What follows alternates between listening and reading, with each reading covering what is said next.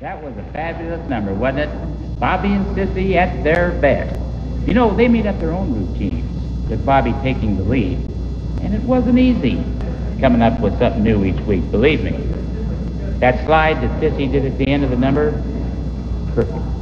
And she didn't have the luxury of a dozen takes to get it right.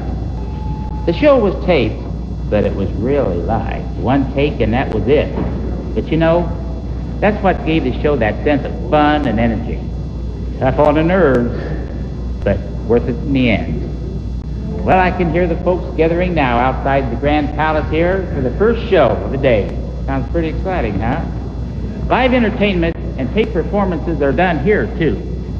In 1992, the Country Music Association gave the Grand Palace an award that honored excellence in acoustics, management, and accommodations for guests and entertainers. The previous year's winner was Nashville's Grand Ole Opry, where we did our tribute to Mr. Welk, hosted by Barbara Mandrell. And I can tell you from experience, it's a wonderful place to work. Talk about wonderful things. The boss is about to introduce three good-looking redheads who fit that description to a T. This next song was first introduced by one of my all-time favorite singers, Ruth Etting. It was later sung by Judy Garland in one of her many movies. So this is a sort of double salute, and we hear from Sandi, Gail, and Mary Lou.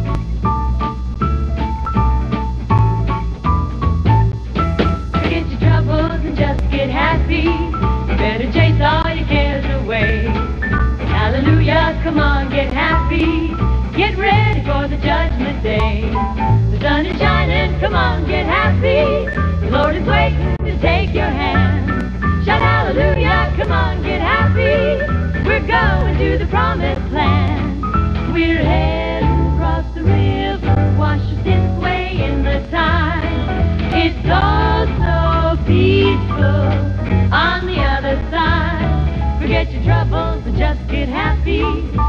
Chase all your cares away.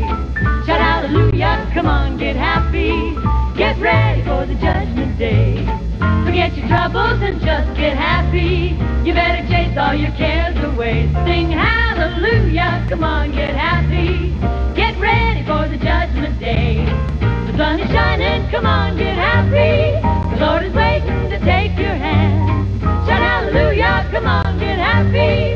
We're going to the promised land. We're heading across the river, Washington's way in the tide.